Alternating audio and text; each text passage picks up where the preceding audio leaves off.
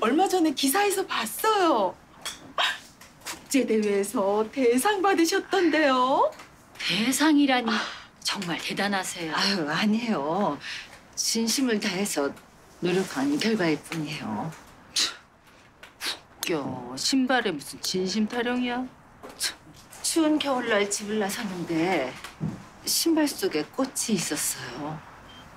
아, 그 순간 마치 봄을 맞이한 것처럼 행복해졌죠. 그때 알았어요. 이 작은 신발 안에 꽃도 담기고 계절도 담기고 마음도 담긴다는 거려.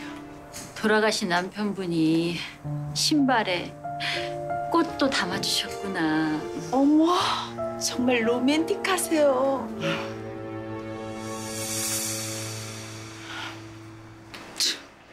하여튼 잘난 척은. 아유. 아유. 아유. 뭐.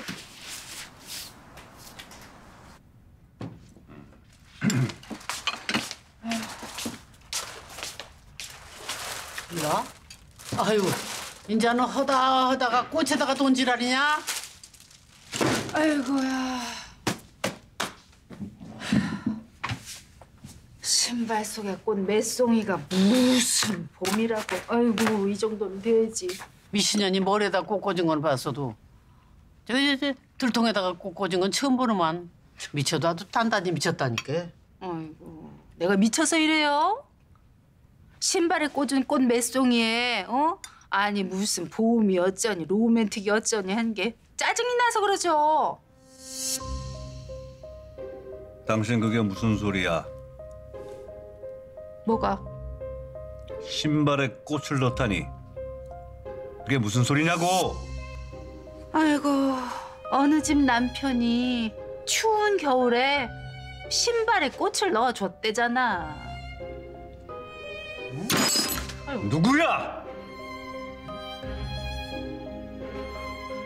그 얘기를 해준 사람이 누구야?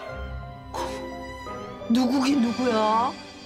머리부터 발끝 신발까지 잘난 척하는 그 여자지. 정모연이.